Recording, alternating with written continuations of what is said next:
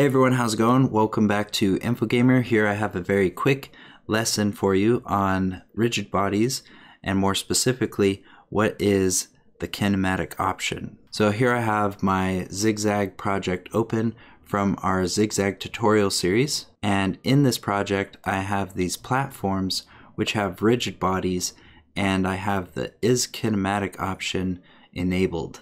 And basically what the is kinematic option does is it makes it so that these objects won't move until I disable this option.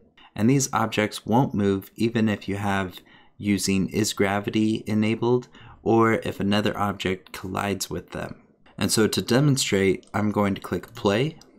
And here you can see how our ball object, which also has a rigid body but is not kinematic, fell down with gravity and collided with our platform, but our platform didn't move, even though it has a rigid body on it. But if I select one of our platforms and I disable the is kinematic option, you can see how it falls with gravity.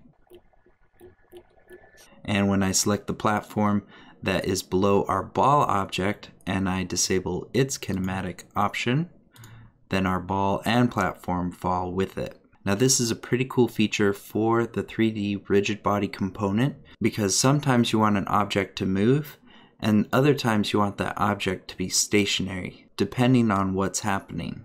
And so for this example, we want each of the platforms to be stationary until the ball touches a platform and then leaves the platform. This will make it so that as our ball is rolling down this path, all of the platforms behind the ball will be falling as soon as the ball leaves the platform, which will give our game somewhat of a fake sense of fear. And it actually reminds me of a part of an older video game that I used to play. I'm sure there's a bunch of other examples out there, but that's the one that I could think of. Now that's everything that I'm going to cover in this very short lesson on what you would use the is kinematic option for.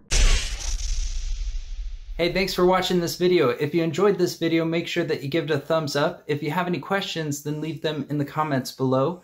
Also, make sure that you subscribe to our channel so you can be up to date with all our latest videos. In fact, there's a couple videos right over here that you might enjoy.